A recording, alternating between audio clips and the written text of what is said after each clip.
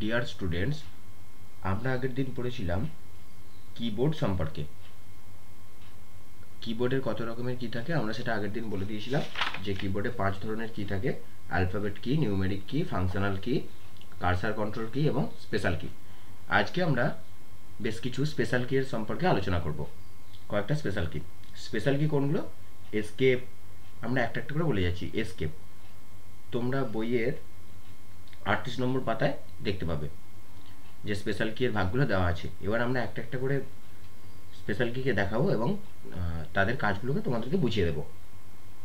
এবার আমরা প্রথমে যে স্পেশাল কিটা যাব সেটা হচ্ছে এসকেপ কিবোর্ডে ইএসসি বলে যে লেখার সুইচটা থাকে বা কিটা থাকে, তাকে বলা হয় এসকেপ এসকেপের কাজ কি? এসকেপের কাজ হলো কম্পিউটারকে কোনো কাজ করতে দেওয়া হয়েছে, যদি সেটা শেষ হওয়ার আগে বাতিল করতে চাও, তাহলে এই কিটি ব্যবহার করতে হবে। অ্যাকচুয়ালি এটা কিসের মতো কাজ করবে? এটা আসলে ক্যান্সেল সুইচের মতো কাজ করবে। কোনো কাজ হতে হতে সেটাকে বন্ধ করার জন্য আমরা এসকেপটা প্রেস করে, করি। পরবর্তী কি আমাদের কি থাকবে? পরবর্তী কি এর নাম হলো ট্যাব ট্যাব দিয়ে আমরা কি করব? ট্যাবটা তোমরা এরকম দেখতে পাবে। ট্যাব এই রকম ধরনের একটা কি যেখানে টিএবি ট্যাব বলে লেখা থাকবে এবং দুদিকে দুটো অ্যারো চিহ্ন দেওয়া থাকবে। এইটা কি করে? এইটা কার্সারকে নির্দিষ্ট দূরত্বে সরায়।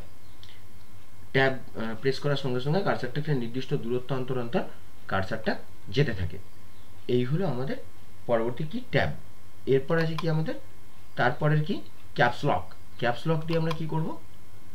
ক্যাপসলক দিয়ে ক্যাপসলক এই যে সুইচটা এটা আমরা অন করলে বা অফ করলে এর দুরকম কাজ হয়।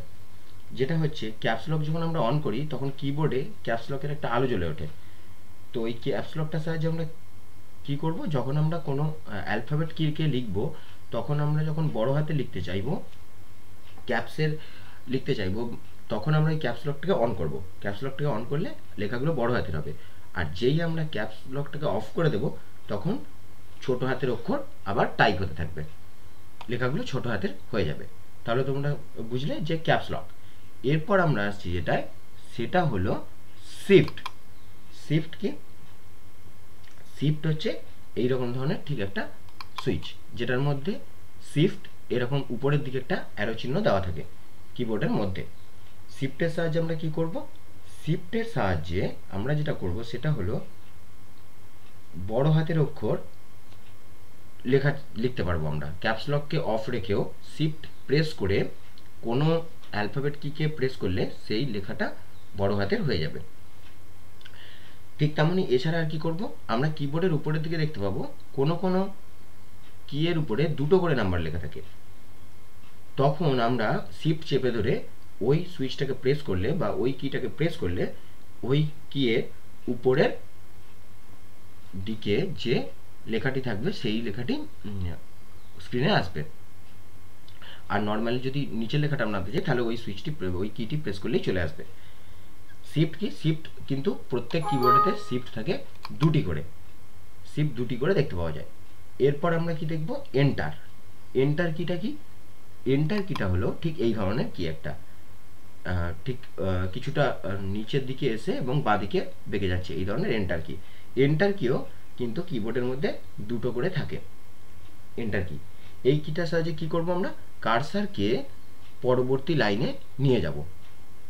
এছাড়া আমরা যখন কোনো কিছু সেভ করতে যাব বা ডিলিট করতে যাব, তখন আমরা এন্টার কি প্রেস করলে ডিলিট প্রেস করে তারপরে এন্টার কি আমরা প্রেস করতে পারব যাতে আমাদের ডকুমেন্টস ডিলিট হতে পারে।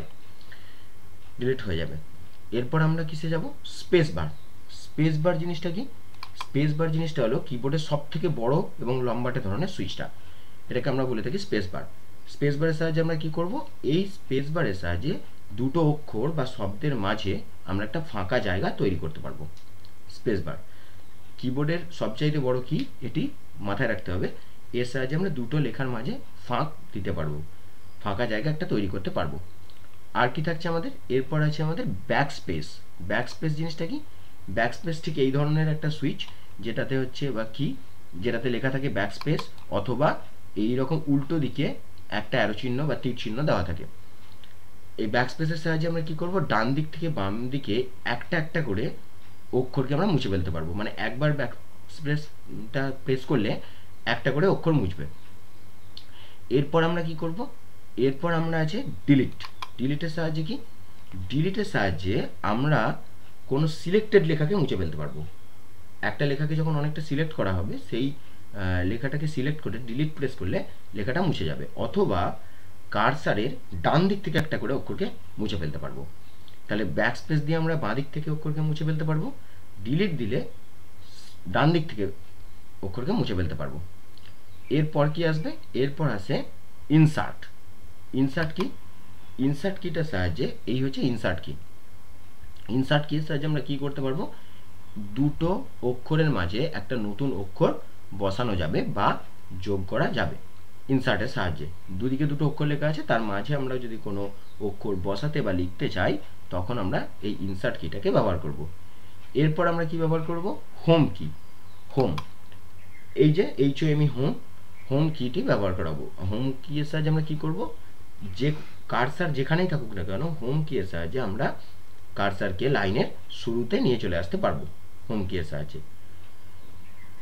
একটা বড় প্যারাগ্রাফের মাঝে যদি কারসারটা বসানো থাকে, সেই মুহূর্তে হোম কি প্রেস করলে কারসারটা প্যারাগ্রাফের একদম প্রথমে চলে আসবে। এর পরের কি হচ্ছে? এন্ড এন্ড কিটা কি? এন্ড কিটা ঠিক এর উল্টোটা। যেমন আমরা হোম কিয়ের সাহায্যে কারসারকে যেখান থেকে খুশি লাইনের প্রথমে নিয়ে চলে আসতে পারব, ঠিক তেমনই আমরা এন্ড কিয়ের সাহায্যে লাইনের একদম শেষে নিয়ে চলে যেতে পারব এন্ড কিয়ের সাহায্যে। আর আমরা আরেকটা কি থাকবে? যেটার নাম হলো প্রিন্ট স্ক্রিন প্রিন্ট স্ক্রিনের সাহায্যে আমরা কি করব? প্রিন্ট স্ক্রিনের সাহায্যে আমরা মনিটরের যে অংশটা আমরা দেখতে পাচ্ছি, সেই জায়গাটিকে সরাসরি প্রিন্টারে ছাপাতে পারব আমরা, বা প্রিন্টারে প্রিন্ট আউট করতে পারব। অ্যাকচুয়ালি এটা একটা স্ক্রিনশট বলা যেতে পারে এটাকে। আমরা যে স্ক্রিনটাকে দেখতে পাচ্ছি, সেই স্ক্রিনটার একটা ছবি নেওয়ার জন্য, বা সেটাকে প্রিন্ট আউট নেওয়ার জন্য, বা কোনো ছবি নেওয়ার জন্য সেটাকে আমরা ব্যবহার করে থাকি।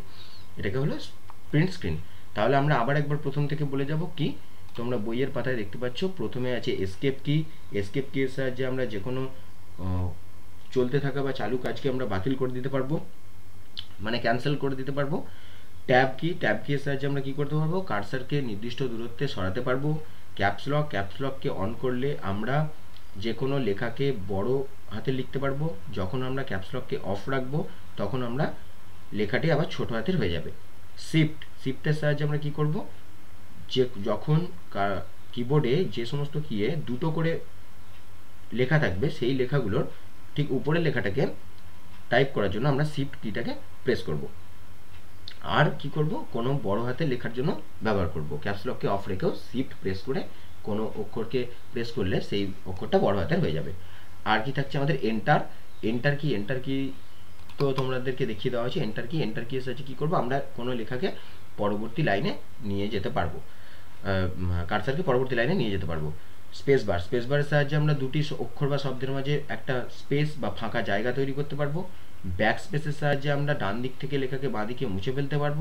ডিলিটের সাহায্যে আবার ডান দিক থেকে বাঁ দিকে লিখতে, মুছে দিতে পারব। ইনসার্টের সাহায্যে আমরা দুটো অক্ষরের মাঝে একটা নতুন অক্ষরকে বসাতে পারব। হোম কিয়ের সাহায্যে কার্সারকে লাইনের শুরুতে আনতে পারব। এন্ড স্ক্রিয়ের এন্ড কিয়ের সাহায্যে আমরা কার্সারকে লাইনের শেষে নিয়ে যেতে পারব। আর প্রিন্ট স্ক্রিন কি করব আমরা? স্ক্রিনশট করব বা কোনো একটা লেখাকে প্রিন্ট আউট বা স্ক্রিনটাকে প্রিন্ট আউট করার জন্য ব্যবহার করব।